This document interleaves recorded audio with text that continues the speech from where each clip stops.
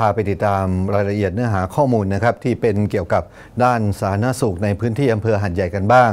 โดยพบว่ามีผู้ป่วยนะครับที่เป็นไข้เลือดออกสูงในอันดับหนึ่งของจังหวัด ด้านสาธารณสุขอำเภอ จัดทีมศูนย์ EOC ครับลุยแผนในเชิงรุก แล้วก็เตือนประชาชนนะครับหากเข้าข่ายเสี่ยงโรคให้รีบพบแพทย์นะครับไม่ควรที่จะซื้อยามารับประทานกันเองไปติดตามครับ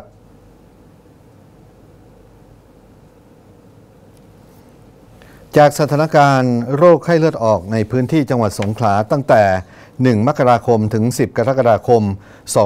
2566 ครับ พบว่าผู้ป่วยแล้วนะครับจำนวนกว่า 1,800 ราย เสียชีวิตแล้วจำนวน 2 ราย ซึ่งจากข้อมูลพบว่าอำเภอหัดใหญ่ มีจำนวนผู้ป่วยมากที่สุด 679 ราย เฉลี่ยอยู่ที่ 10 รายต่อวัน โดยยังคงมีแนวโน้มที่จะมีผู้ป่วยสูงขึ้นอย่างต่อเนื่อง ทางสำนักงานสาธารณสุขอำเภอหัดใหญ่ จึงมีการตั้งศูนย์ EOC ประจำอำเภอ และในรายตำบลครับ เป็นศูนย์บัญชาการเหตุการณ์เพื่อควบคุมไข้เลือดออก โดยมีการบูรณาการกับหน่วยงานที่เกี่ยวข้องประกอบด้วย โรงพยาบาลหาดใหญ่ เจ้าหน้าที่ฝ่ายควบคุมโรค ด้านสาธารณสุขจากทุกเทศบาล องค์กรปกครองส่วนท้องถิ่น และโรงพยาบาลส่งเสริม สุขภาพตำบล ในพื้นที่อำเภอหาดใหญ่ เข้าร่วมประชุมเพื่อวางมาตรการเชิงรุกในทุกสัปดาห์ครับ นายสมโพธยอดดี ผู้ช่วยสาธารณสุขอำเภอหัดใหญ่เปิดเผยว่า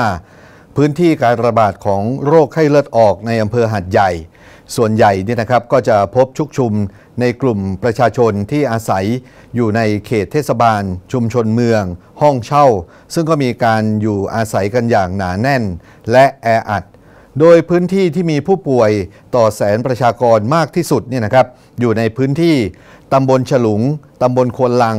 ตำบลคูเต่าตำบลคลองอุตภเปาตำบลคลองแห และตำบลคอหงตามลำดับครับ และส่วนใหญ่ผู้ป่วยที่พบจะอยู่ในวัยเรียนและวัยทำงาน ซึ่งจากการคาดการณ์คาดว่า หลังจากนี้มีแนวโน้มที่จะพบผู้ป่วยเพิ่มมากขึ้น เนื่องจาก เข้ากำลังนะครับในขณะนี้เข้าสู่ในช่วงของฤดูฝนแล้วด้วย ขณะนี้ทางสำนักงานสาธารณสุขจังหวัดสงขลา และสาธารณสุขอำเภอ จึงมีการติดตามอย่างใกล้ชิด มีการบูรณาการกับท้องถิ่นลงไปนะครับ เพื่อที่จะรณรงค์ประชาสัมพันธ์ และเฝ้าระวังควบคุมโรค โดยจัดกำลังเจ้าหน้าที่ตรวจหากำจัดแหล่งเพาะพันธุ์ยุง แจกทรายเทมิฟอส โลชั่นทากันยุง สเปรย์กำจัดยุงครับ รวมถึงส่งทีมนะครับที่จะไปพ่นหมอกควัน ULV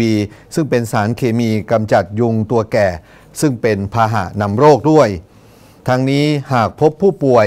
ก็จะดำเนินการตามมาตรการ 331 ทันทีก็คือ หลังพบผู้ป่วยให้รายงานโรคให้กับหน่วยควบคุมโรคของพื้นที่ภายใน 3 ชั่วโมง และให้หน่วยควบคุมโรคกำชับ ให้อสม ลงกำจัดแหล่งเพาะพันธุ์ลูกน้ำยุงลายที่บ้าน ชุมชนผู้ป่วยภายใน 3 ชั่วโมง และจะมีการส่งทีมสอบสวนโรคเคลื่อนที่เร็วหรือ SRT ลงพื้นที่ควบคุมโรคภายใน 1 วัน เพื่อจำกัดวงแพร่ระบาดได้รวดเร็วขึ้น โดยมีการเน้นย้ำนะครับ การค้นพบผู้ป่วยไวเข้าถึงพื้นที่เร็ว และสามารถควบคุมโรคกำจัดยุงตัวแก่ และค้นหาผู้ป่วยเพิ่มเติมให้เสร็จสิ้นภายใน 1 วันทั้งนี้ครับขอเน้นย้ำกับพี่น้องประชาชนหากพบว่า ตนเองหรือบุคคลในการดูแล มีอาการเข้าข่ายกับโรคไข้เลือดออก มีไข้สูงเฉียบพลัน ก็ขอให้รีบพบแพทย์นะครับ หรือแจ้งเจ้าหน้าที่สาธารณสุขโดยเร็วที่สุด ซึ่งปัจจัยเสี่ยงที่จะทำให้เสียชีวิตได้นั้น มาจากการเข้าพบแพทย์ช้า แล้วก็มีโรคประจำตัว และอีกปัจจัยก็คือที่สำคัญครับหลายๆ คนเนี่ยมักจะนิยมนะครับไปซื้อยามารับประทานเอง